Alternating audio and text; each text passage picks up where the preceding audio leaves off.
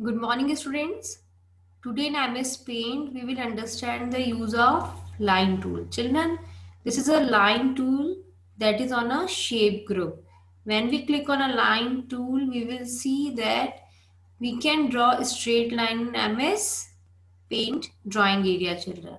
And with the help of line tool we can draw various types of patterns. So today we will understand how can we use line tool.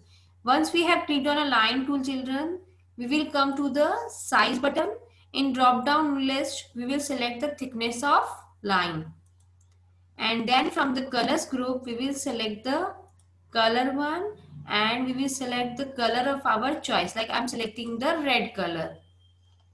Now to draw the pattern children, we will take our mouse pointer in drawing area and we will press the left mouse button.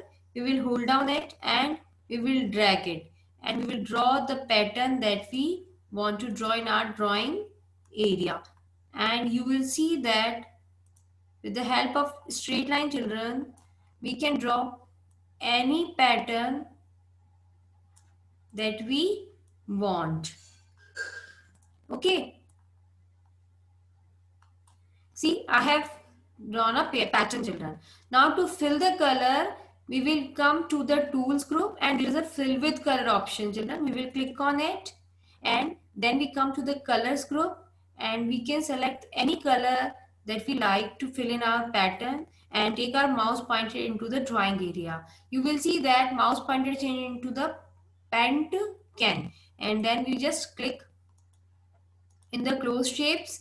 You will see that fill with color will fill the color properly in the closed shape. Now children, once we have finished our drawing and if you want to erase some part of our drawing children, we use the eraser tool. This is a eraser tool. It is used to erase the part of a picture.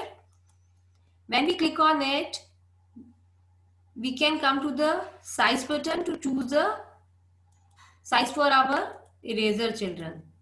And one more way is that press control and plus sign it will increase the size of eraser children. Once the size of eraser is according to our choice, we will take our mouse pointer into the drawing area. It changes into the square shape. We will hold down it, pressing the left mouse button and we will drag that the part we don't want in our drawing area. See? So this way we can use eraser tool in a paint to erase the unwanted part of our drawing. Thank you.